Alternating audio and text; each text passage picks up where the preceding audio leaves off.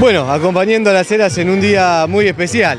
Sí, realmente un gusto que el gobernador me haya pedido a través de la ministra Cristina Álvaro Rodríguez que si podía representarlo en este acto. Este, hermoso desfile, eh, hermosa eh, eh, es esta ciudad, no es la primera vez que vengo. Y bueno, ha finalizado y bueno, todo muy muy lindo, muy lindo todo el desfile, todo realmente muy muy muy lindo. ¿Hace algunos meses habías venido a Hornos? sí, acá señalizamos este, donde vive, la calle donde vive Isla Heroles, la secretaria de Derechos Humanos de acá de la municipalidad. Hicimos un curso de violencia de, género, hace, el año pasado fue eso, y estuvimos señalizando también otra casa que era donde vivió Jimmy, no me puedo acordar el nombre, un apellido inglés también, que está desaparecido acá de las Heras. Decía el intendente que ya te siente prácticamente un herense. Bueno, sí, sí, obviamente.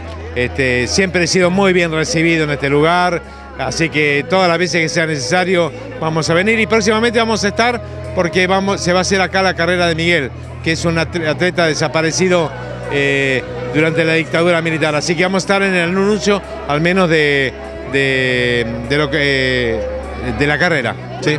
Eh, hiciste uso de la palabra y aprovechaste y hiciste anuncios importantes.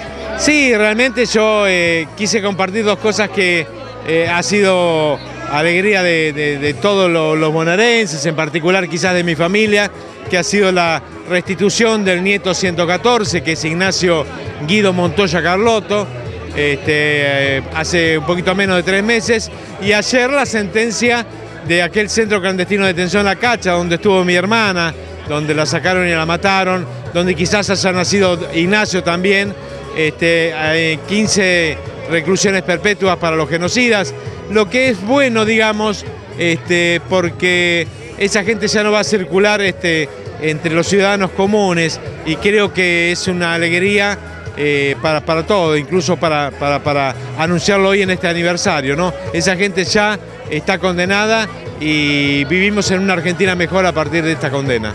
Gracias nuevamente por el tiempo y por compartir este día tan especial con General Las No, gracias a ustedes y para lo que necesiten.